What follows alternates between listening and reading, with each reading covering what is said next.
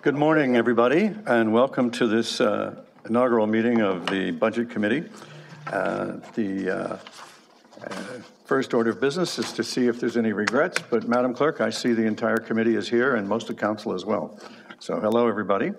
Are there any declarations of pecuniary interest on the part of the uh, members of the committee? Madam Clerk, I don't see any. We have no consent items on this agenda. Our first discussion item is the election of the 2023 Budget Committee Chair. Members, is there a nominee? Councillor O'Meara. Uh, Thank you, Your Worship. I'd like to move uh, Councillor Haslett-Theall. I'm sorry, I couldn't hear you. I'd like to move Councillor, or nominate Councillor Haslett-Theall. Thank you. Um, Are there any other nominations?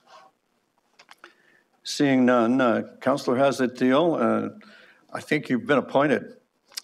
Congratulations. Uh, I'm going to pass to you the, uh, the little agenda guideline that I have, unless you have a copy. And you just pick up here at the top of the page. Enjoy, it's fun, and there's nothing to it.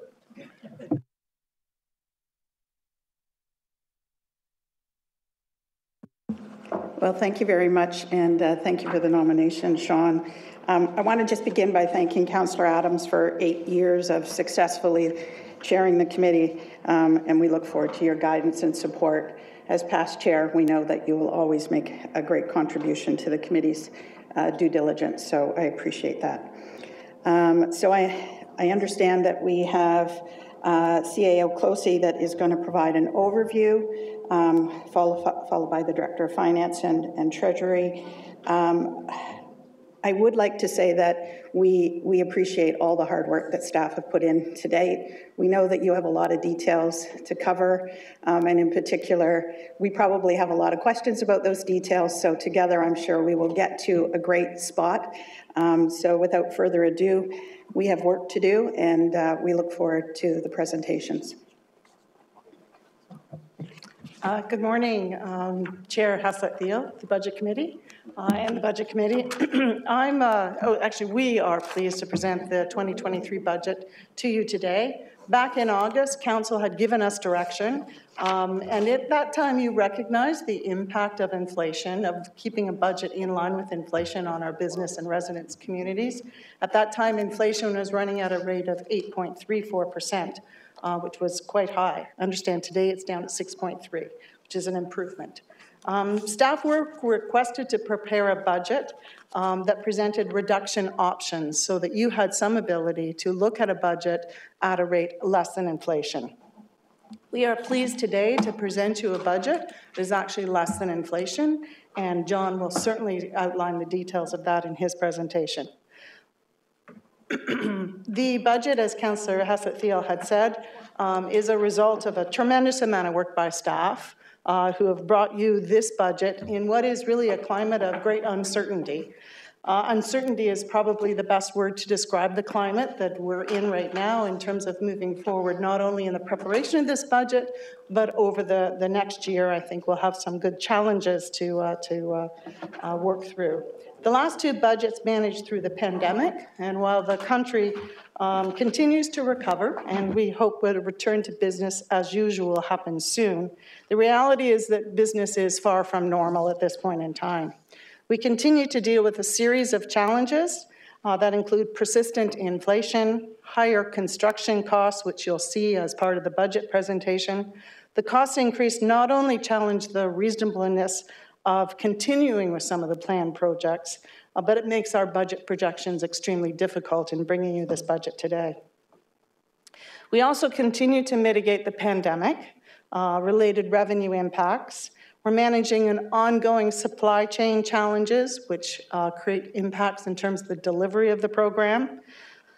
We have to address and anticipate labor market impacts in this budget and work through significant legislative changes, and in particular, Bill 23, uh, which, as you'll see in John's presentation, has not been reflected in this budget, as our budget was prepared before this legislation had come out. But Bill 23 will create some challenges if unmitigated, um, as not as much this year, but certainly in 2024 and the years beyond. All of these factors have contributed to a rather uncertain climate in the preparation of the budget. However, there's always got to be a, a shining light somewhere. we are seeing some wonderful signs of, uh, of returning to a thriving community in Oakville. Our recreation and cultural centers are booming. Uh, community events are resuming. The outdoor space use res- remains high as it was in the pandemic and is continuing. Our transit continues to improve its ridership, and we continue to grow as a community. On the administration side, we are focused on service transformation, diversity and inclusion, resiliency, climate action, uh, and our people to ensure that our operational long-term goals are able to be met in the long term, creating that foundation for ongoing improvements to our residents and businesses. Also in 2023, we'll work with you as council on a new strategic plan that will outline your key priorities, not only over your term, next term at council, but well beyond into uh, hopefully looking at the next three decades. Despite this uncertainty, there is much to look forward to, and we remain confident in our financial position. And staff has successfully developed a budget that is under the projected rate of inflation, as I had indicated earlier. Uh, and we have not presented to you reduction options. That is an option that's always open to council, but with bringing in the budget less than inflation, uh, we have not prepared, prepared those for you ahead of time. Uh, bringing it under, in under inflation gives you some flexibility if there are some other programs that you would like to add to the budget. So I am very proud of the staff and, and the work that they have done in pulling together this budget in rather a very uncertain year. And I will now pass over the presentation. John will give you a very detailed presentation of the budget itself. And over the next week, you'll see presentations from each of the commissioners in terms of the specifics in each of those commissions. So, John? Thank you, Jane. And I'll wait till that presentation is up. There we go. So good morning, members of Budget Committee and members of Council. I'm excited to be here today to talk about the 2023 budget uh, for the town of Oakville. So I have a little agenda here to organize the various budget topics that we'll be going through this morning. And you'll see this slide come up uh, numerous times as we go through each topic. And we're going to start with the budget process. And just we're going to start with a reminder of some of the key parts of the budget process that we follow here at the town. So up here on the screen right now is a high-level timeline that we use for preparing the annual budget. You'll notice that it's a little bit different from the typical process that we use, given that 2022 was an election year. Having said that, most of the process is quite similar to what we've used in the past. The budget kicks off in early summer. As finance, we meet with the departments to talk about their budgets, their work plans, and their upcoming projects. This year, in early August, we also took an update report to Council to advise Council and the public about the 2023 budget process and touch on some key inflation concerns. Throughout the summer, departments work on preparing their budgets, and then finance reviews them in late summer. We put everything together and present the operating budget along with any new requests to the executive leadership team. We also go over the capital projects, including any new projects that are added either to the current year or to the forecast. Once the executive leadership team approves the operating and capital budgets, the next step is to bring the budget together in one book and prepare the various presentations that you'll see next week. Then you as budget committee have the opportunity to review, ask questions, make changes, and ultimately approve the budget to bring to council in February. So that was the high level process, but there are a few key dates that I'd like to touch on for a moment as well. So first up is today, January 17th. Today is the big day where we release the budget book for the 2023 operating and capital budgets, along with the 10-year capital forecast. The only presentation that we have today is this overview presentation. However, next week on the 24th and on the 26th, we will have each of the commissioners and the CAO's office present their program budgets with specific accomplishments from the past year and objectives for the year and years to come. The agenda for these days will also include any staff reports for the various budget referrals that have been made over the course of the past year. During the week of February 13, members of the public will have two opportunities to delegate to Budget Committee to share any thoughts, questions, or requests that they may have. One of these sessions is on Valentine's Day at 9.30 in the morning, and the other is on February 16th at 6.30 in the evening. Don't worry, we didn't make the Valentine's one in the evening, so. Uh, On February 21st, the Budget Committee will have the opportunity to deliberate and approve the budget before we get to final council approval on February 27th. So before I leave this slide, I do want to point out that in the past, the Budget Chair has often held a budget open house where members of the public can ask any budget-related questions that they may have. And should Chair Haslett-Theall be interested in doing so, finance staff would be willing to help you with that. All right, now that we've talked about timelines, it's also important to talk about the process of building the budget and the principles that guide our approach. So in building the budget each year, there are a number of different factors that we need to consider as finance and as an organization. I've listed a number of the key ones here on this slide, and I'll touch on them each briefly. So the first one is council's strategic priorities. As you well know, council sets various strategic priorities to guide and shape the organization, and these have an impact on how, where, and when we spend our funds. As the current council has just begun their term together and has not yet completed a, a strategic plan, we've used the previous council's strategic plan in building the 2023 budget. Once a new strategic plan has been completed, this will then help to guide future years' budgets. The next item is council's direction, and this refers to the direction on tax impacts on tax impacts by council to keep the overall increase to inflation, and I'll touch on that more in a moment. PB2 methodology. So the town uses PB2 methodology, which is performance-based, program-based budgeting. This means that we focus on programs rather than departments, and we have an emphasis on the allocation of resources based on desired outcomes and the measurement of program results um, against those desired outcomes. In a couple of slides, you'll see how we match our programs with council st strategic priorities. Our fourth bullet is service levels. We build our budget around maintaining service and service levels that are valued by our residents. From time to time, this necessitates changes to various programs which can have a budgetary impact. The town's sound financial position. The town's finances have been well managed, and as a result, we are in a sound financial position. Our capital and stabilization reserves both exceed the recommended levels from the Government Finance Officers Association, and the town's debt levels are within both the provincial and internal limits. As we evaluate capital budget considerations, it's important to consider the impact that these projects will have on reserve and debt levels and allow us to maintain our strong financial position. Included as a staff report for today's meeting is a comprehensive summary of the town's various reserves.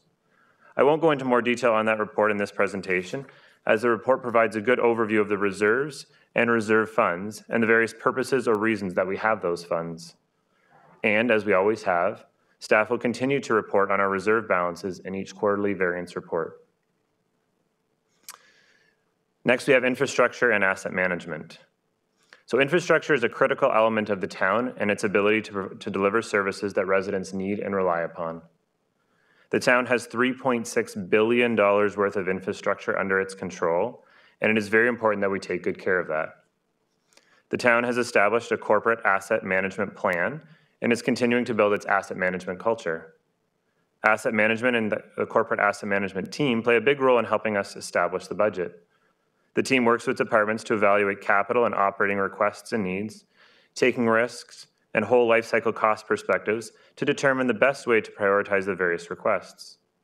They also do that keeping in mind our overall financial strategy to ensure that our reserves are stable. And finally, growth. As the town continues to grow, this has an impact on the town's budget. This impacts us on the capital side with new projects that need to be completed, and these are primarily funded by development charges. It also impacts us on the operating side, as we need to consider the operating impacts of these projects and ideally match that with the growth that we are seeing on the assessment roll. And as you see on the slide before you, there is a reference to Bill 23, and I'd like to touch on that a little bit more. So as Jane mentioned, this budget was prepared before uh, Bill 23. Um, and so this budget does not include any Bill 23 impacts. Our budget was substantially complete, and the impacts of both capital and operating are not yet known, so it was premature to adjust the 2023 budget for the impact of these legislative changes. In addition, many of the Bill 23 changes have impacts for the long term as opposed to for the current year's operating budget. Now, having said this, Bill 23 will have a number of financial impacts to the town. Our development charge revenues and parkland revenues are both forecasted to drop. The figures you see here are from the staff report that we brought to P&D Council in December. We've used ranges to quantify the long-term potential impacts due to uncertainties related to the determination of which land costs would be eligible or ineligible in our DC calculations, and due to uncertainties in the nature and timing of parkland calculations, as each parcel will have its own impact. In the absence of alternative funding from other levels of government, these reduced revenues will have an impact on both our growth and non-growth capital projects. Growth projects may either be delayed due to less funding, or the town may need to use its own reserves to pay for a portion of these projects. And then any use of the town's own reserves would therefore limit funding available for non-growth initiatives the town may want to consider. As these could be wide-ranging impacts for our capital projects, we'll need to understand the full picture so we can react in a way that continues to ensure our sound financial position. On the operating side of things, Bill 23 may impact some of the town's property tax classes, which will therefore shift the tax burden to other property tax classes. In addition, in the absence of any alternative funding the town may receive, the town may need to consider increases to property taxes to cover the unfunded costs of growth projects. Just like for our capital projects, there are uncertainties, and therefore we'll need to continue to review the current and future Bill 23 changes, assess the potential impacts, and then bring these back for Council's attention. All right, strategic priorities. So a few moments ago, I mentioned that strategic priorities set by Council are one of our key budget principles. As you can see here, these are the key areas of focus for Council arranged into five different groups or buckets, all connected with the town's vision to be the most livable town in Canada. As we move to the next slide, you'll see how we've grouped each of our programs under one of these key areas of focus to help connect the budget with Council's strategic priorities. And that's what you see here. These are the headings from the previous slide with the various programs listed underneath. And these groupings are similar to what they were last year, so hopefully that's uh, pretty familiar for Budget Committee and Council. And I will come back to this, uh, this structure in a couple of slides when I talk about how the budget spending is grouped by each key priority area. Council direction. So I mentioned earlier one of the key variables that we need to consider when we build the budget is Council's direction for any increases. And Council has directed staff to keep the overall property tax increase in line with inflation. And as Jane alluded to earlier, given the current economic environment, this proved to be quite difficult.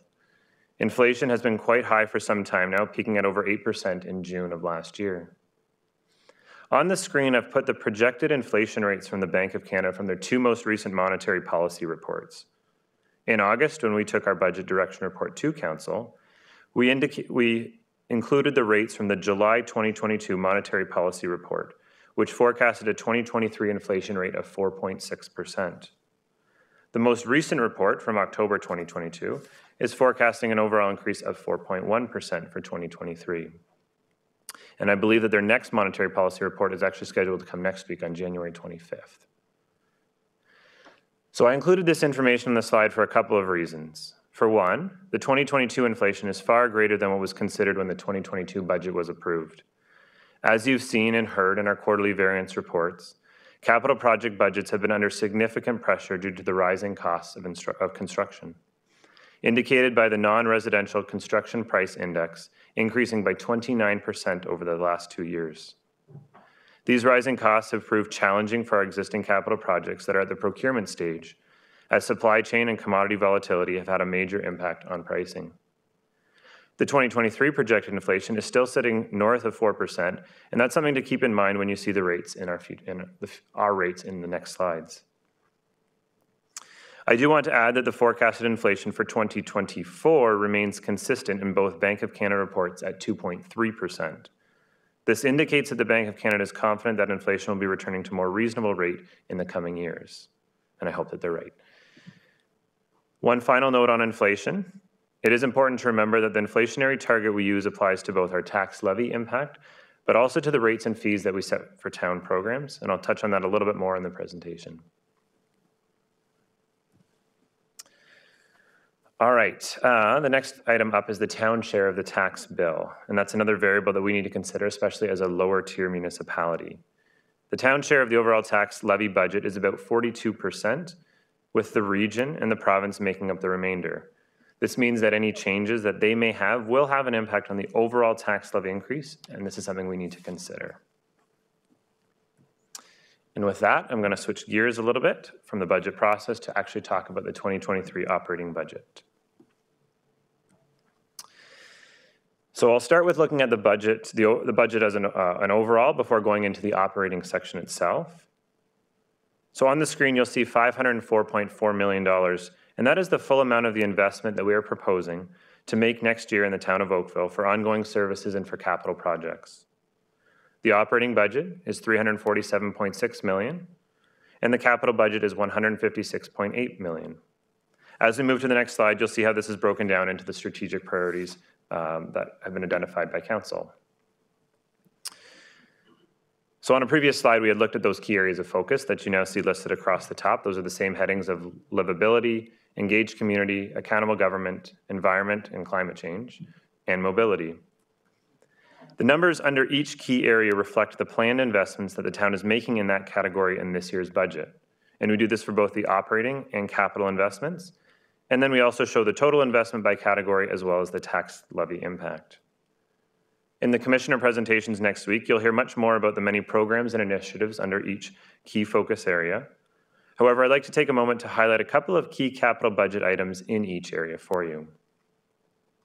Our investments in livability include funds for the design of Fire Station Number 9 in North Oakville and funds for the streetscape study for Kerr, Bronte, and downtown Oakville. Engaged community, the largest item in this category, is for the continued, uh, the continued construction of the 16-mile sports complex and library. Account- accountable government, many of these investments are for the behind-the-scenes work that happens here at the town, but it also includes funding for the 2023 to 2026 Council Strategic Plan. Under the environment key focus area are investments to address climate change, including the home energy retrofit program, as well as funds to support our tree canopy and the electrification of our transit fleet. And finally, our investments in mobility include funds for traffic calming and active transportation. So before I leave this slide, there are a couple of other reminders I'd like to share with you. One, and this is for the accountants in the room, this chart, at least the operating portion, it will not match the totals that I just showed you on the previous slide as we remove all the corporate items as they don't naturally fit in any of the categories.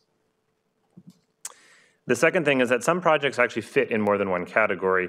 A good example of this is the electrification of our transit fleet. Replacing diesel buses with electric buses addresses both the environment focus as well as mobility. And finally, this chart can be found on page 10 of the budget book. And the subsequent pages after that also break out some of the key initiatives in each uh, key focus area. All right, talking now about the tax levy impact for this year's proposed budget. I'm going to start with a high-level summary of the impacts for our residents and taxpayers, and then move into some more details on the specific drivers for this year's budget. The total tax levy as proposed in this budget is 238.1 million. And this represents a nearly $16 million increase overall and a $12 million increase after adjusting for growth as compared to the figures from last year's budget. On a percentage increase for existing residents, the town shares a 5.43% increase, and as part of the entire tax bill after adding in the region education shares, this works out to 3.52% increase, which is in line with council's direction to keep the overall increase in line with inflation. It's also important to keep in mind that these figures you see before you are before any considerations that may come to Budget Committee over the coming weeks. All right, so this brings us to our key budget drivers slide. And this chart can be found on page 16 of the budget book. And I do know that it has a lot of information on it. However, it does capture what the key drivers are for the changes in this year's operating budget. I'm going to walk you through each factor and do my best to explain how each budget driver impacts the town's operating budget. Before I do that, it's important to note the columns across the top. The first column has the budget drivers. These are the things that impact the budget. I'm going to skip the second column for a second and go to the third one. This column has the increase in actual dollars in millions.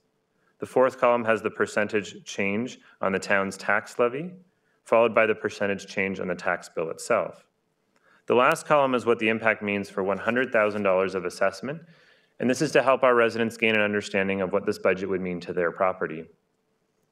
At the bottom, you'll see how the second column splits out the town, region of Halton, and education portions of the tax bill.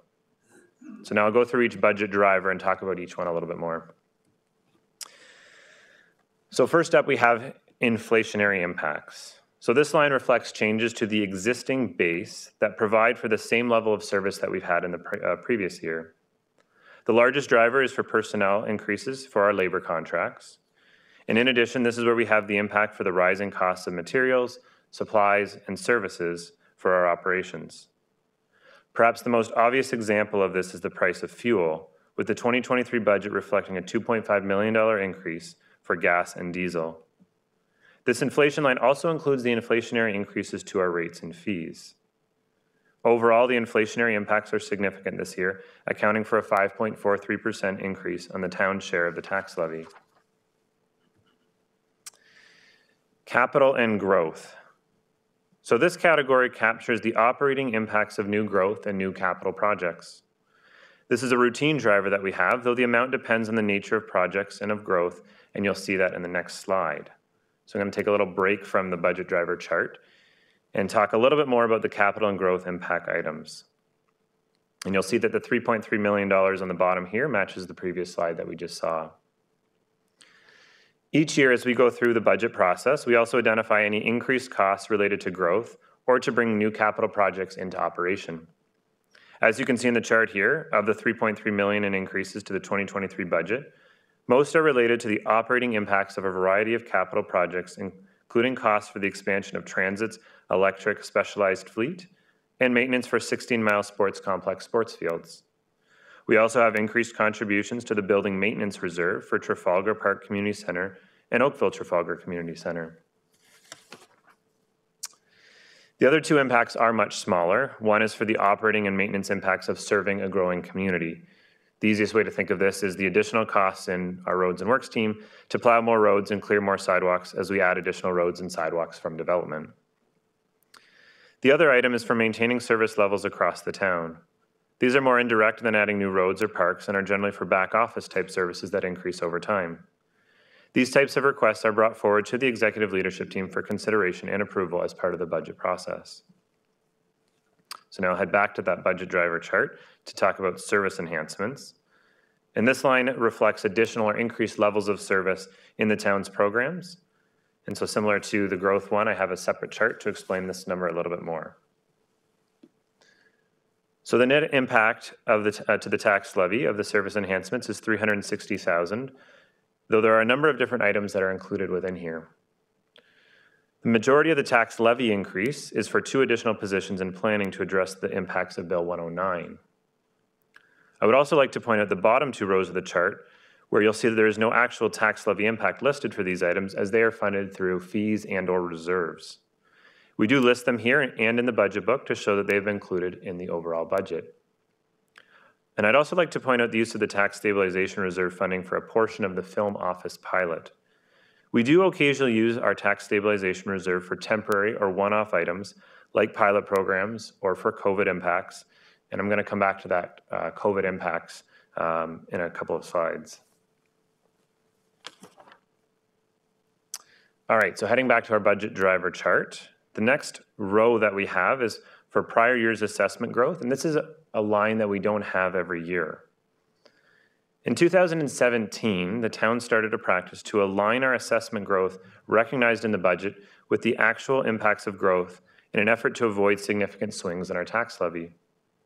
What this means is that in years where the town has assessment growth in excess of what is required for funding the impacts of growth in that year, these unused funds are then transferred to our tax stabilization reserve until they are required. Likewise, in years where the operating costs of growth are higher, we can then use some of these funds to pay for those increased costs. Given the high growth impacts in the 2023 budget and the overall higher costs, we are using almost $2 million of these growth funds in the 2023 budget. Our next line is the capital levy. The town has a long-standing policy of taking 1% of the prior year's total tax levy amount and adding that to our capital envelope. This is a very valuable tool that allows us to finance the various capital projects that the town undertakes. This funding source becomes even more important as we continue to refine our asset management plan and look to our future infrastructure needs. All right, so now we're going to move into some COVID impacts, which are these four rows of yellow on our chart. So the first item is the reversal of last year's COVID impacts. The budget for 2022 included over $5 million in COVID impacts. And to ensure that these increases do not become part of the base budget, they've been removed here. That's why they're listed as a negative. And this effectively resets the budget on the expense side. Moving down one row, we also added revenue for government support for our COVID impacts last year to avoid adding these to our tax levy. So just like we removed the expenses, we also need to remove the revenues from the budget. So together, these two lines had a nil impact on the 2022 tax levy, and so removing them also has a net nil impact on the 2023 tax levy. Transit impact. So the only significant remaining COVID impact that we have included in this year's budget is for transit. Coming out of the pandemic, ridership in transit has not yet recovered to pre-pandemic levels.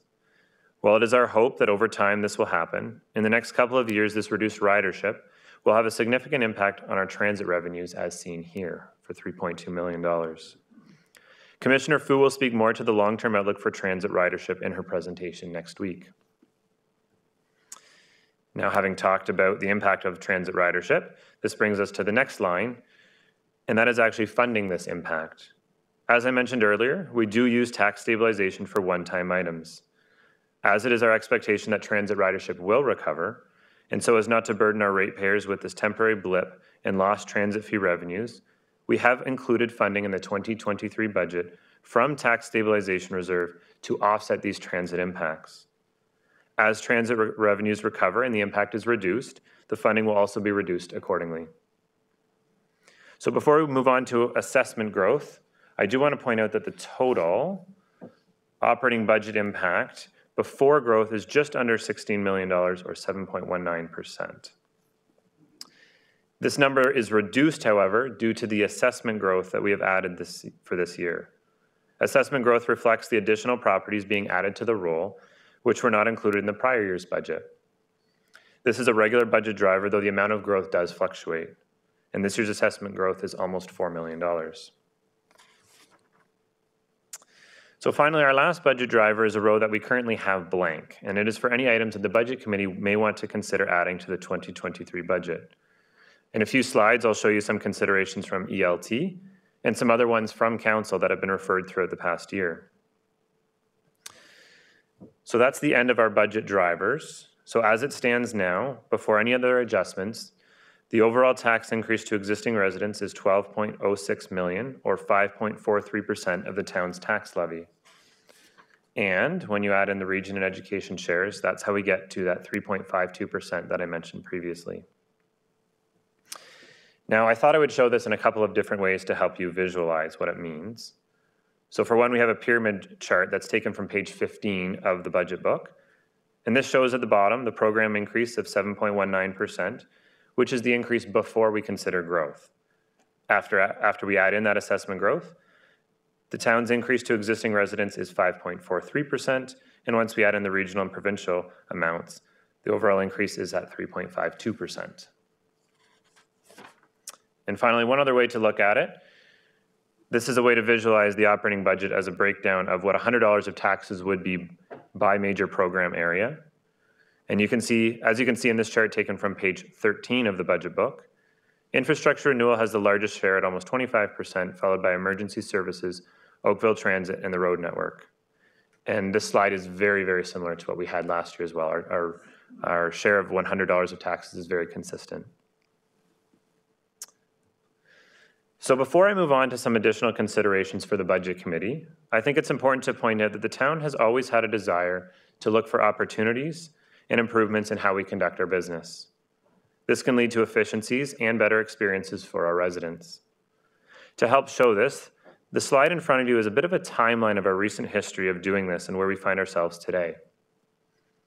In 2017, the town engaged the services of a consulting firm to assist us in looking for opportunities in our various service lines. Staff then assess these opportunities and look for ways to address them and capture any budget impacts. The budgets in 2019 to 2021 included a number of these findings as staff went through the process of addressing and incorporating the opportunities. We have COVID in our timeline here as well, as it's important to highlight perhaps the silver lining of the pandemic. We needed to look at service transformations and process improvements as we handled the various pandemic impacts. And that leads us to now. With COVID behind us, we can continue with our recreation and facilities reviews for the upcoming years, and Commissioner Bell will speak more to that in her presentations. And we as a town will look ahead to the next areas of focus to improve our services to residents. So I mentioned a few minutes ago some considerations for the Budget Committee. As we go through our budget process, requests are brought forward to our executive leadership team for them to consider. And in addition to the growth and service level initiatives I mentioned earlier, there are a few other considerations that are not currently in the operating budget. So these items are not currently included, but they are ones the Budget Committee may want to consider. We've listed the five items here, along with their tax levy dollar and percentage impacts, and I'll touch on them quickly, and the commissioners will also touch on them in their presentations. So the first is for a new position in revenue and taxation for the upcoming vacant home tax program and to address ongoing pressures as the town grows and introduces new programs. The next three items are all for enhanced sidewalk clearing services in specific areas of town, and you can see those areas listed on the slide. The final item is for the town's recreation services to provide grants to assist organizations with community programs. And as I said, the commissioners will touch on these in more detail when they get to their presentations next week. So the final item on the operating budget that I would like to bring to your attention are the Budget Committee referrals. So throughout the year, several items have been referred to the Budget Committee from Council and P&D meetings, and these are summarized on the slide here. I know they're in really small font, so I'll touch on each one of them briefly. So the first and the last item actually both relate to streetscaping in Kerr Village, and there will be a staff report coming next week which addresses both of these items. Funds have been included in the budget for a study, and Commissioner Garvey will speak more to this referral next week. The second item for a heritage tax rebate program has not been included in the budget. However, there is an accompanying staff report that will be looked at next week, as well as in Commissioner Garvey's presentation. The third item is a reference to the town's new community benefits charge, or CBC, and it was included to ensure that the projects listed in our CBC strategy document are also included in the capital budget and forecast, and I can assure you that they have been. Finally, our fourth item is a reference to the Downtown Cultural Hub, which is included as a program initiative in the 2023 capital budget. And again, Commissioner Garvey will speak to this in his presentation, so make sure you tune into his presentation. All right, so that's the end of the operating budget. I do have one slide on our operating forecast as well. So while Council is only approving the budget for 2023, it is important to look ahead to the future. So the chart you see before you, which is also on page 26 of our budget book, is similar to our 2023 budget driver chart, though there are a few differences. Across the top, this chart shows the forecasted impact on the town's tax levy and the tax bill itself, and we do this for both 2024 and 2025. So as you can see, the inflationary impacts are expected to be much lower than for 2023, and this is in keeping with the Bank of Canada's long-term expectations. As we continue to see what Canadian and global inflation patterns are, we'll keep Council apprised of any changes to these rates. Another thing to point out here are the transit impacts I spoke of earlier. As ridership returns, it is our hope that the transit impact will be reduced, and therefore the reliance on the tax stabilization funding can also be reduced. And at the bottom of the chart, you'll see that we've used 3% for the region of Halton, and that was based on their most recent budget report.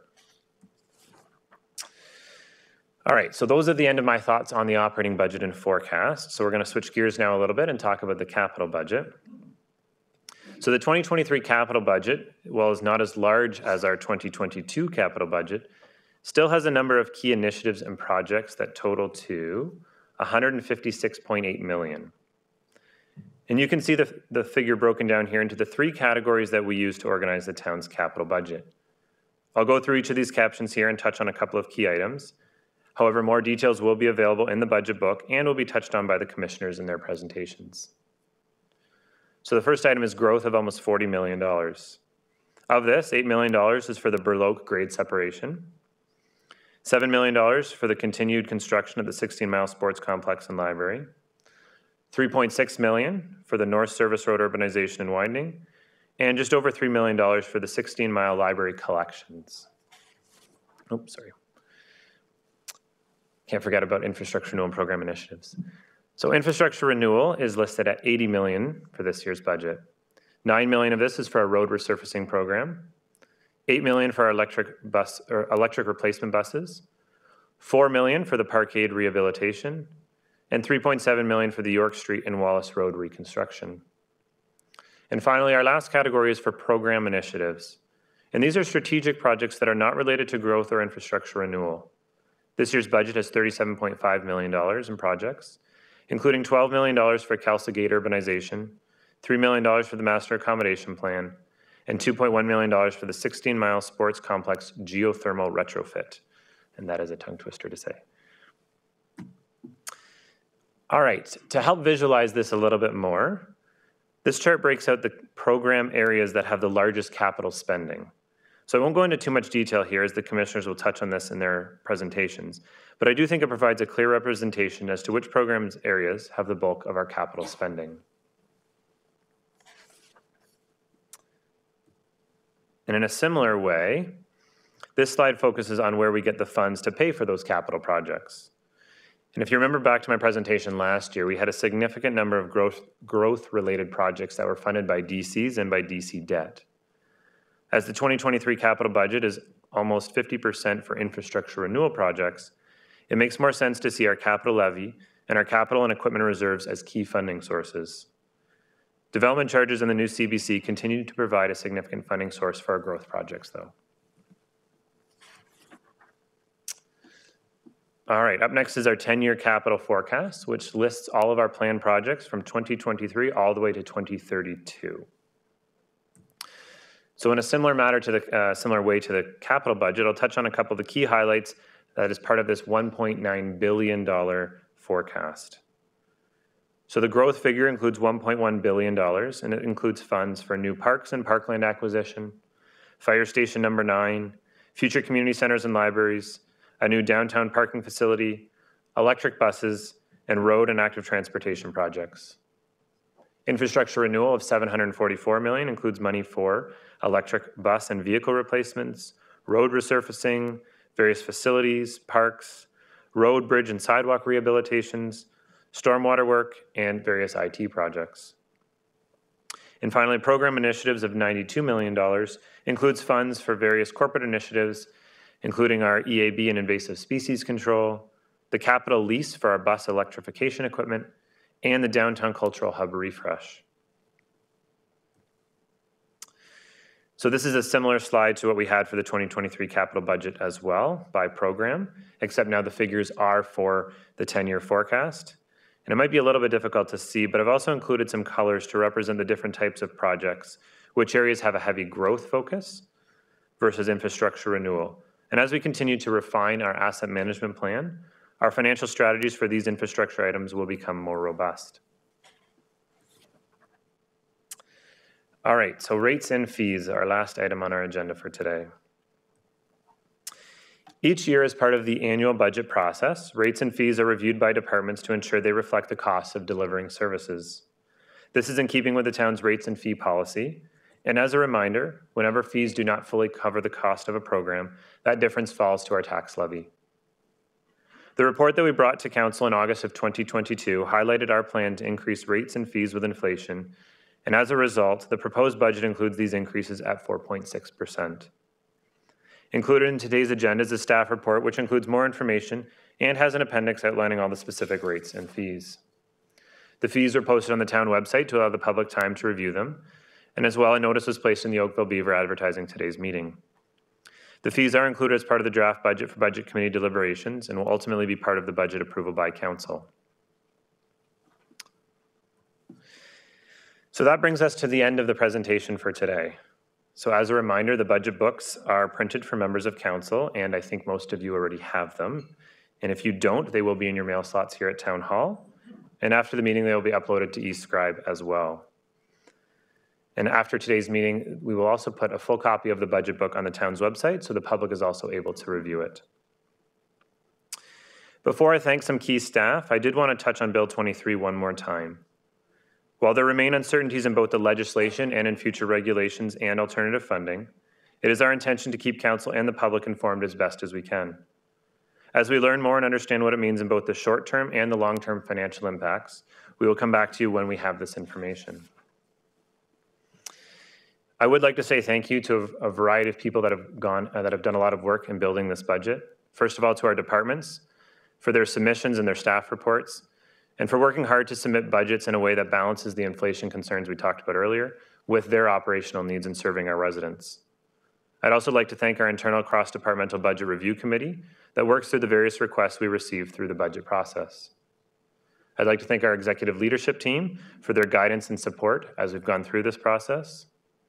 And I'd like to thank my finance team as a whole, Dalabar Stankovici, Matt Day, and the rest of the entire team for all the hard work that they've done in preparing the budget for this year.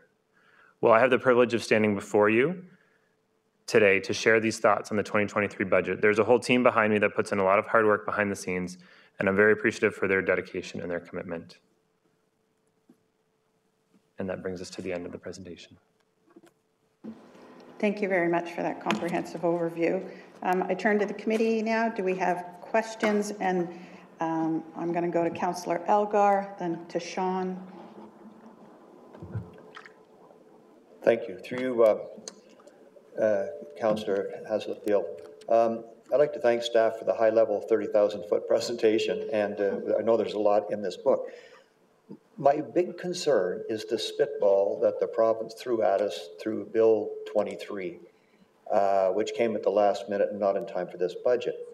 But uh, when I start uh, digging into what I've been reading in the last few weeks, well, over the last month, basically, a lot of municipalities are saying, unless something happens to Bill 23 and it changes, this is going to be the gift that keeps on giving for years, where we're going to have, and it ranges from different municipality to municipality, but the range is 12 to 17 percent alone on annual tax increase, unless changes are made. Uh, it's a bit shocking, and I don't think the residents have any idea. When do you think we will have more data before February 27th, when we will be approving this budget? to just so that because if we can't do anything, we have to at least get the MPPs that they understand the impact that they are creating for each municipality. And, and I'm more concerned about Oakville and Halton right now, but it's across Ontario. Did you have any idea when you'll have more detailed information available? Uh, through you, uh, Chair Haslett-Theall, I wish I could answer that question, tell you when we'll have more detail. That would be very helpful to me and, and my team in planning for, for the budget. Um, I think one of the things that we can do best as town staff is to continue to report back when we have that information. I think we're planning to take a, a report back. I'm looking at Nancy here in, in spring as we continue to learn more. Um, but unfortunately, I don't think we'll have anything by February 27th on that. So would that mean even though we approved the budget for 2023 on February 27th, and yet when we find out that we should have been increasing our budget uh, by a much higher percentage, or we'll have a double whammy in 2024, will we then re, re, re, uh, revisit our 2023 budget? Is that the, what might happen? Uh, well, I wouldn't, through you, Councillor uh, Haslett-Theall, I don't think we would revisit the budget necessarily, but I do think that a lot of the impacts for Bill 23 are very long-term focused. And so I think we'll need to fully understand what it means and then strategize about how we're going to approach those items. And then we can bring back reports to outline more immediate items and then update our, our long-term forecast as we do every year with our 10-year capital forecast. That would probably be the best time. And I think Commissioner Sully, do you have anything to add to that? Uh, no, through you, Chair Haslett-Theall, that's, that was what I was going to say as well. I don't think you're going to see, there may be, there will be some minor impacts in 23 with the phase-in of DC rates, et cetera, so we're managing that on a cash flow basis. As far as actually impacting the tax levy in 23, I think to John's point, it's longer term. We're going to see this over time as we see the revenue shortfalls on our parkland, et cetera. And then it's how do we manage that? What is the best option for the municipality and going forward? So there's a lot of, um, certainly we're waiting for those regulations to come out to give us more details. One of the big ones is land. The land, is it land under roads? What, land is going to be exempt? Because that's going to be significant.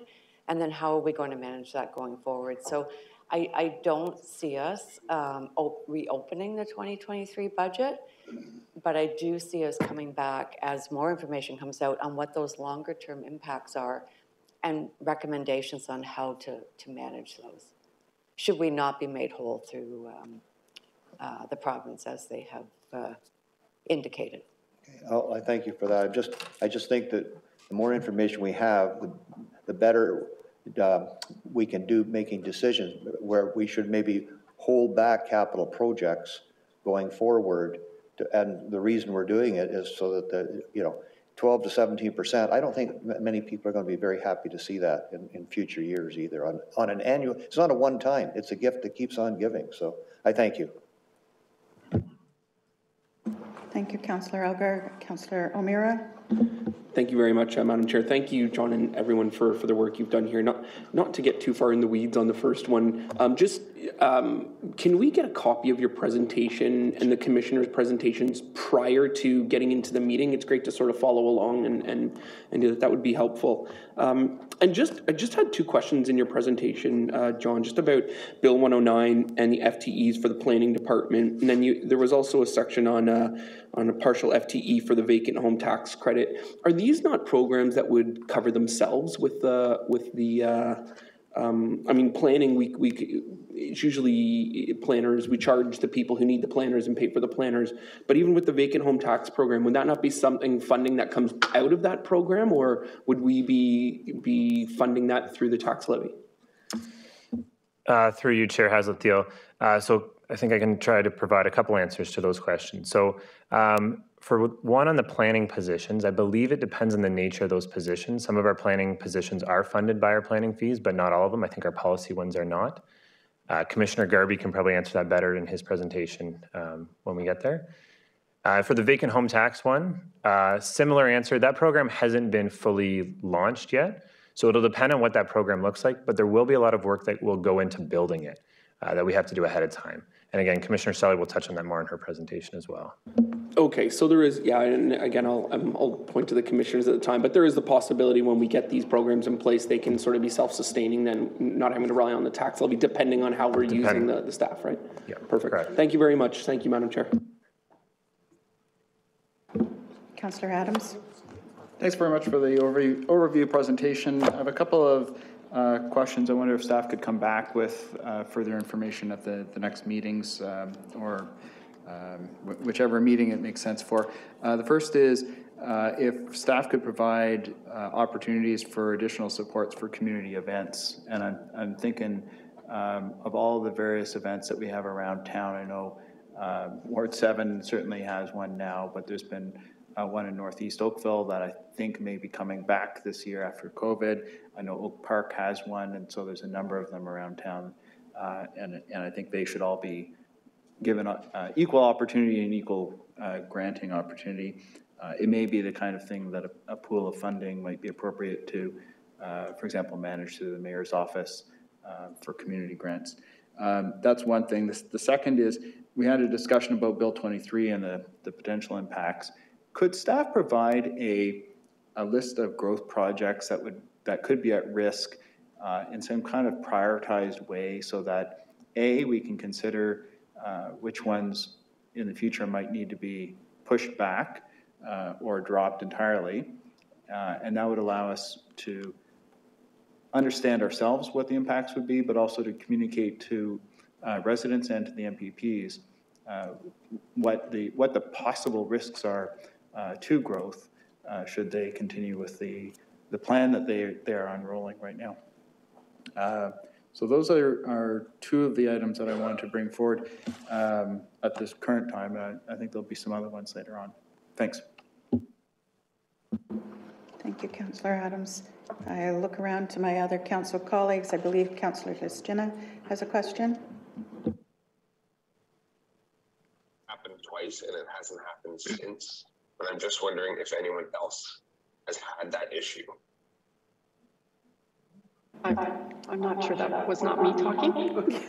Didn't sound like you, Natalia. Um, Thank you, thank you, Madam Chair. Uh, Thank you, Jonathan, for the presentation. Uh, I guess the first point of clarification, you had mentioned about uh, Bill uh, 23 impact, and you said that we may need to shift burden to other property tax classes. I- I- Maybe I misheard that, or could could you just clarify what that means? Certainly, through Chair Haslett-Theall. One of the proposals in Bill 23 is to look at uh, the tax, um, how the tax classes are done for, I believe it's rental um, um, properties. And so any changes to one tax class then impact other tax classes based on the ratios. So that was just alluding to that. If there is a change at the provincial level and how that's done, it would impact what our residents would see on their tax bill. So unrelated to the growth side of things, more about the tax classes. Thank you for that clarification. Uh, Next, uh, quick question, and perhaps um, uh, Commissioner Fu might uh, be addressing it later, but regarding the transit impact, you had indicated about um, that, may- again, maybe I misheard it, but the 3.21 million is still COVID-related issue, so we're going to be using funds from uh, tax stabilization. Um, Will we also be bringing forward this line item uh, to other levels of government uh, as well? uh, perhaps after the budget, just to, uh, to indicate that this is still a COVID impact? Through you, Chair Haslett-Theall, um, that's probably something Commissioner Fu can answer better than I can. So um, if you're okay waiting to her presentation. Yeah, Then no, that's great, thank you. And one last uh, question, you had mentioned, uh, I think it was the capital budget forecast, the geothermal retrofit Mm-hmm. for 16 Mile.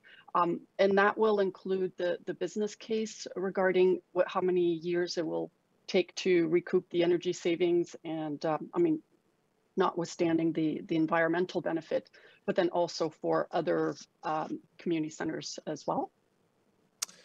Uh, Through you, Chair Haslett-Theall. So I don't have that information right in front of me, but I know that we do have staff on the energy side of things who would be taking a look at that as part of the business case for considering it. So we can certainly bring that information back to you along with the request from Councillor Adams. Thank you very much. Councillor Adams? Sorry, there were two, two more things that I thought I should add to this list of um, information requests. One is, every single uh, budget has had a discussion about traffic calming initiatives. And I know there are, there's listings of uh, a number of projects within the book already. But when uh, the commissioners come forward next week with their commission presentations, could we make sure that there's a breakout of the, um, uh, of all the traffic calming uh, work that's going on specifically, so it's all rolled up in one place? Um, And second, could we have a list of additional opportunities that we could undertake should we wish to? Because I know that is a common uh, discussion that we, we have. Uh, And then on a separate piece, could we also have a listing of the active transportation projects? That's it, thanks. Looking for any other questions from other councillors? I do have a, a few that I will add then. Um, um, and thank you to my council colleagues for their, their great questions. Um, in terms of reserves, um, you referenced uh, that uh, the impact in terms of the cost of materials um, and just the inflation was driving um, significant increases. Can, can you come back and just speak to what, uh, what your recommendation is around protection of the sta- tax stabilization fund? In other words, what is, uh, what's the target that we, you recommend we hold to? We have spent out of the tax stabilization fund mid-year previously and as we need to, but I'd like to understand what is the, what is the preferred target um, to, to maintain it? Um, And if you could also include in that um, maybe a description of what we pulled uh, from tax stabilization in 2022, so we can just maybe have an historical reference point. Certainly, uh, through to you, Chair Haslett-Theall. Um, we can certainly uh, come back on the uh, the second part of your question. I might be able to answer the first part of your question right now. Um, in the reserve report that we do have in today's on today's agenda, uh, there is a chart on it's page six of the staff report, And it has a little um, orange line that shows what our target is based off of the GFOA, Government Finance Officers Association, their best practice for your stabilization funding. And so that is the, you know, that is one of the key targets. It's obviously not the only one, but that's a, a good one to see where we are um, benchmarked on there. So hopefully that helps your first question. We'll come back to you on the second one. Thanks very much for that. Um, uh, In terms of details, I'm assuming that flood mitigation plans will come um, from Commissioner uh, Phoebe's uh, presentation, is that correct? Um, Commissioner Fu, I think she's here. She can address that in her presentation. Yeah. Um, My other question is around, um, just in terms of uh, framing information for the public. So some of the charts are doing a great job of showing us 23 um, and the line. Is it possible to see the spend in 2022? While I know we get quarterly reports, at a glance, um, reflecting on what we did in 2022 versus what is now recommended, um, may be helpful for some who are trying to uh, digest all of this. Uh, To you, Chair Haslett-Theall, um, we can, can, I'll, I'll try to think of something with our team to best show that. We are still going through our year-end process. um, And because most of the time the budget is done when we're still in the projection stage, uh, we don't normally have that. But uh, we'll put some minds on and see what we come up with to help you on that. Thank you. And my other question is around assessment growth. So at the region, um, they had talked about what the assessment growth was and had planned for 1.7 and received communication that it was to be 1.4 um, and had to pull from, or or proposing to pull from reserves. Have we gotten confirmation uh, of what our assessment growth is and is that what is in this budget? Correct. The, the number that is listed in our budget uh, is is from the information provided to us by MPAC. Okay, thank you very much. So I think that's all for questions. I believe we need a motion to receive today's report. Sorry, Madam Chair. Sorry, So- Councillor One, one- O'Meara. one last question, just, do, do we know where the province is with MPAC and with reassessment? Are we, I'm sorry to just trip you on the last minute there, but I'm, I'm very curious. I think it was 2020 it was delayed, and I've heard some movement happening over the past six months, but uh, any updates on that, on the reassessment process? Uh, Through your chair, Haslett-Theall. It's a question we've asked as well when we have the opportunity, and I don't have a better answer for you at this time. Okay, thank you. Mayor Burton. I'll give you the motion. Okay, so we have a motion on the floor to receive what, the reports today. I don't believe I need a seconder in committee, so I'll call the vote of the committee members. All in favor? Okay, that passes. Thank you very much for all the due diligence that's been done to date. Um, I remind the public that we meet again on January 24th at 9:30 uh, to begin staff presentations to re- review the program budget, as well as on the 26th. Um, Information will be up on the website, as was explained in the meeting today, Um, and we look forward to the staff's presentation. Thanks very much, everyone, for your good work, and we will see you on the 24th.